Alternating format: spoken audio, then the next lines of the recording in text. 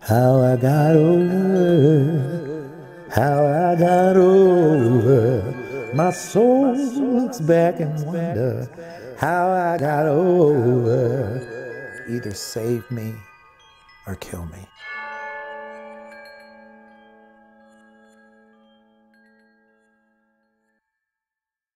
And see, I, you know, I think to myself too, understanding it theoretically and figuratively, I, I know. I mean, in my heart, if I did what I used to do to perform, Yeah. now, now it'd be pop goes the weasel. My heart, you know, I'd be, I'd, Rick I'd be going, no, no, no, y'all can't see. Oh, Right. oh, you're bad. That's okay. funny. But yeah, I mean, I would die Yeah. because that's what got me to stop 40 years ago drinking drugging smoking i used to smoke four packs of cigarettes a day Wow.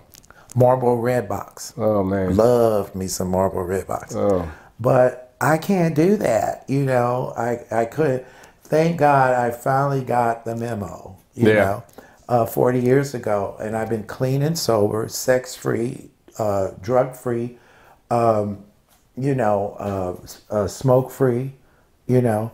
I thank God that I live on it today. You know, that part is great. But as you could see, videos that I'm recording and stuff, you know, I, God has still given me enough. How do I put this? uh, enough youthfulness in my limbs and in my voice that I I can't scream like I used to. You know, I used to do this banshee scream that everybody loved.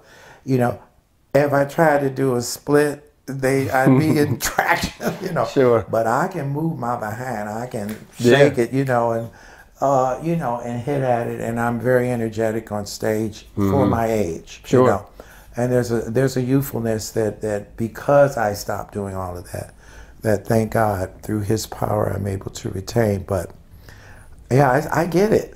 But see, that traps me and, and entraps me too. You know. I'm gonna love you like nobody's loved you. Come rain or come shine.